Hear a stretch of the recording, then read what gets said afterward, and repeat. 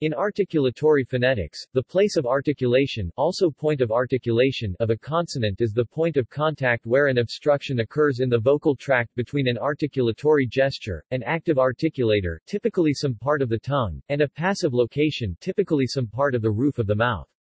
Along with the manner of articulation and the phonation, it gives the consonant its distinctive sound. The terminology in this article has been developed for precisely describing all the consonants in all the world's spoken languages. No known language distinguishes all of the places described here so less precision is needed to distinguish the sounds of a particular language. Overview The human voice produces sounds in the following manner. Air pressure from the lungs creates a steady flow of air through the trachea, windpipe, larynx, voice box, and pharynx back of the throat. The vocal folds in the larynx vibrate, creating fluctuations in air pressure, known as sound waves. Resonances in the vocal tract modify these waves according to the position and shape of the lips, jaw, tongue, soft palate, and other speech organs, creating formant regions and so different qualities of sonorant voiced sound. Mouth and nose openings radiate the sound waves into the environment. The larynx The larynx or voice box is a cylindrical framework of cartilage that serves to anchor the vocal folds. When the muscles of the vocal folds contract, the airflow from the lungs is impeded until the vocal folds are forced apart again by the increasing air pressure from the lungs. The process continues in a periodic cycle that is felt as a vibration buzzing.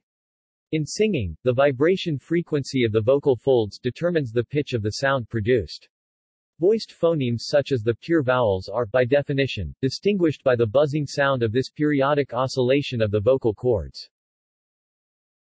The lips of the mouth can be used in a similar way to create a similar sound, as any toddler or trumpeter can demonstrate. A rubber balloon, inflated but not tied off and stretched tightly across the neck produces a squeak or buzz, depending on the tension across the neck and the level of pressure inside the balloon. Similar actions with similar results occur when the vocal cords are contracted or relaxed across the larynx. Place of articulation passive The passive place of articulation is the place on the more stationary part of the vocal tract where the articulation occurs and can be anywhere from the lips, upper teeth, gums, or roof of the mouth to the back of the throat. Although it is a continuum, there are several contrastive areas so languages may distinguish consonants by articulating them in different areas, but few languages contrast two sounds within the same area unless there is some other feature which contrasts as well. The following areas are contrastive, the upper lip labial. The upper teeth, either on the edge of the teeth or inner surface dental. The alveolar ridge, the gum line just behind the teeth alveolar. The back of the alveolar ridge postalveolar. The hard palate on the roof of the mouth palatal. The soft palate further back and the roof of the mouth velar. The uvula hanging down at the entrance to the throat uvular. The throat itself, aka the pharynx pharyngeal. The epiglottis at the entrance to the windpipe, above the voice box epiglottal, the regions are not strictly separated. For instance, in some sounds in many languages, the surface of the tongue contacts a relatively large area from the back of the upper teeth to the alveolar ridge, which is common enough to have received its own name, denti-alveolar. Likewise, the alveolar and post-alveolar regions merge into each other, as do the hard and soft palate, the soft palate and the uvula, and all adjacent regions. Terms like prevelar, intermediate between palatal and velar, postvelar, between velar and uvular, and upper versus lower pharyngeal may be used to specify more precisely where an articulation takes place. However, although a language may contrast prevelar and postvelar sounds, it does not also contrast them with palatal and uvular sounds of the same type of consonant, so contrasts are limited to the number above, if not always their exact location. Place of articulation active The articulatory gesture of the active place of articulation involves the more mobile part of the vocal tract, typically some part of the tongue or lips. The following areas are known to be contrastive. The lower lip, labial. Various parts of the front of the tongue, coronal. The tip of the tongue, apical. The upper front surface of the tongue just behind the tip, called the blade of the tongue, laminal. The surface of the tongue under the tip, subapical. The body of the tongue, dorsal. The base aka root of the tongue and the throat, pharyngeal, in bilabial consonants, both lips move so the articulatory gesture brings the lips together, but by convention, the lower lip is said to be active and the upper lip passive. Similarly, in linguolabial consonants the tongue contacts the upper lip with the upper lip actively moving down to meet the tongue. Nonetheless, the tongue is conventionally said to be active and the lip passive if for no other reason than that the parts of the mouth below the vocal tract are typically active, and those above the vocal tract are typically passive. In dorsal gestures, different parts of the body of the tongue contact different parts of the roof of the mouth, but it cannot be independently controlled so they are all subsumed under the term dorsal. That is unlike coronal gestures involving the front of the tongue, which is more flexible. The epiglottis may be active, contacting the pharynx, or passive being contacted by the aryepiglottal folds. Distinctions made in these laryngeal areas are very difficult to observe and are the subject of ongoing investigation, and several still unidentified combinations are thought possible. The glottis acts upon itself. There is a sometimes fuzzy line between glottal, aryepiglottal, and epiglottal consonants and phonation, which uses these same areas. Unlike the passive articulation, which is a continuum, there are five discrete active articulators, the lip, labial consonants, the flexible front of the tongue, coronal consonants, laminal, apical, and subapical, the middle back of the tongue, dorsal consonants, the root of the tongue together with the epiglottis, pharyngeal or radical consonants, and the glottis, glottal consonants. The articulators are discrete in that they can act independently of each other, and two or more may work together in what is called coarticulation see below. The distinction, however, between the various coronal articulations, laminal, apical, and subapical is a continuum, without clear boundaries. Table of gestures and passive articulators and resulting places of articulation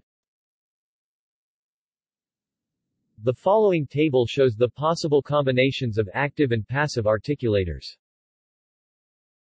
The possible locations for sibilants as well as non-sibilants to occur are indicated in dashed red. For sibilants, there are additional complications involving tongue shape. See the article on sibilants for a chart of possible articulations. A precise vocabulary of compounding the two places of articulation is sometimes seen. However, it is usually reduced to the passive articulation, which is generally sufficient.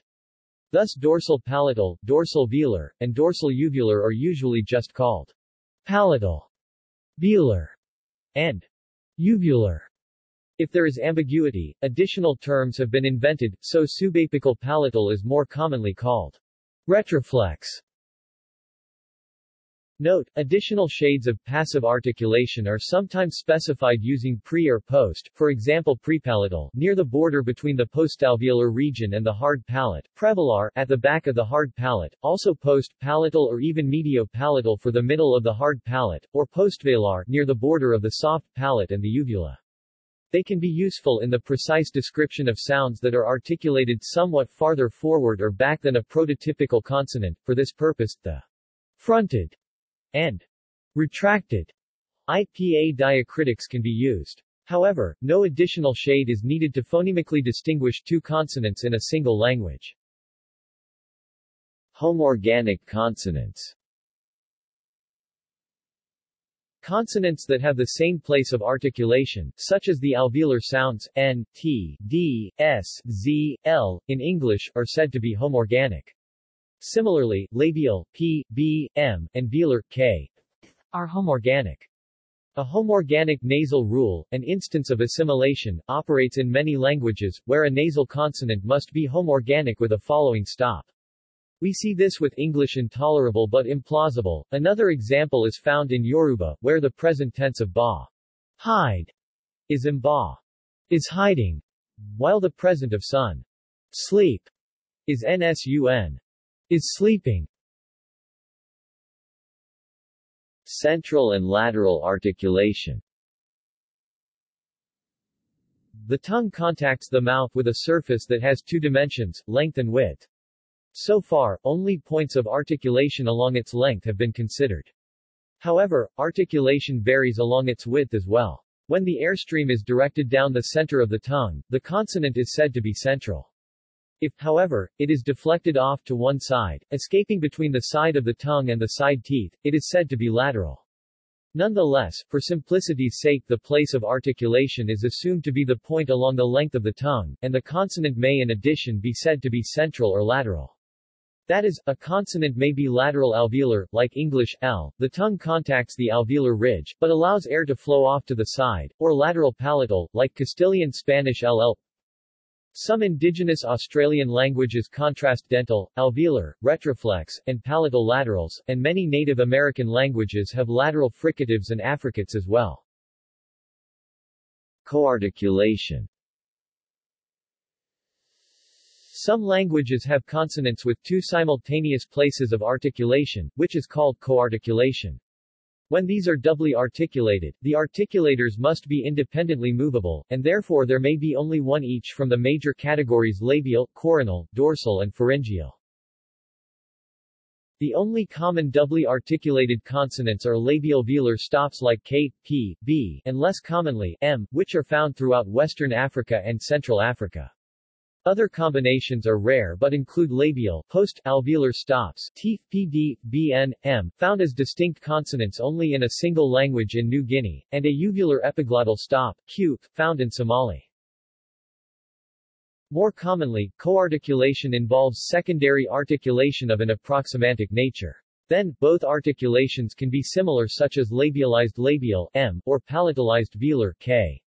That is the case of English W, which is a velar consonant with secondary labial articulation. Common coarticulations include these Labialization, rounding the lips while producing the obstruction, as in K, and English W.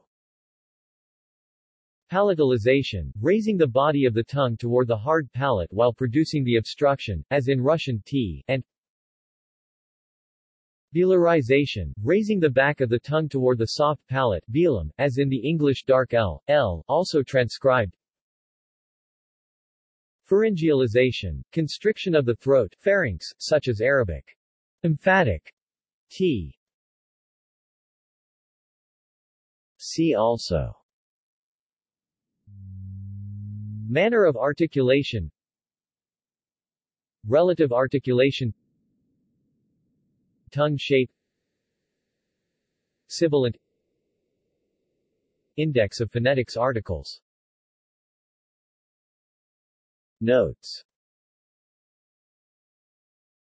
References. External links.